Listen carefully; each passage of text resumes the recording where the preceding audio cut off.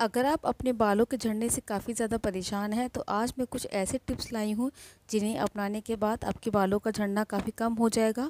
उम्मीद करूँगी वीडियो आपको पसंद आएगा। अपनी डाइट में protein, vitamin A, B, C, D शामिल करें। इसके अलावा ऐसा खाना खाएँ, जिसमें आयरन ज़्यादा मात्रा में हो। इनकी कमी से भी हमारे बाल काफ़ी ज़्यादा झड़ते हैं। बालों की ज़रूरत के हिसाब से ही शैम्पू चुनें, ना कि फ़ैशन के हिसाब से। बाल ड्राई हैं, ऑयली हैं, रूखे हैं या बालों में डैंड्रफ है, ये देखकर ही अपने शैम्पू का चुनाव करना चाहिए। डैंड्रफ भी बाल झड़ने की वजह बनते हैं, इसलिए बालों में एंटी डैंड्रफ शैम्पू लगाएँ या फिर आप दही में तेल मिला के अपने बालों में लगा सकते हैं या तेल में नींबू का रस मिला के बालों की जड़ों में लगाएँ।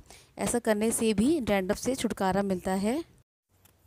अगर आप रोज़ाना बालों में एक ही तरफ़ से मांग निकालते हैं या फिर अपने बालों को बहुत टाइट बांधते हैं तो ऐसा ना करें। इस वजह से भी बाल झड़ते हैं और अपने बालों का हेयर स्टाइल भी बदलते रहें और चोटी भी टाइट ना करें। बालों को मजबूती देने के लिए हेयर मास्क लगाया जा सकता है। नींबू और अंडे के हेयर मास्क को अपने बालों में लगाएँ, फिर बालों को अच्छे से धो दें, इससे भी बाल मज़बूत बनेंगे। एक कटोरी में नारियल का तेल गरम करें, उसमें करी पत्ते डालकर काला होने तक पकाएँ।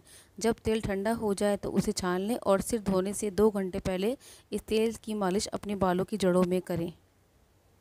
कोशिश करें कि गीले बालों को कभी ज़ोर से ना झाड़ें और ना ही उन्हें बांधें।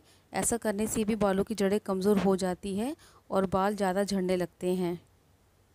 सबसे ज़रूरी है कि बालों को झड़ने से बचाने के लिए हफ़्ते में कम से कम दो बार बालों की अच्छे से तेल से मालिश करनी चाहिए।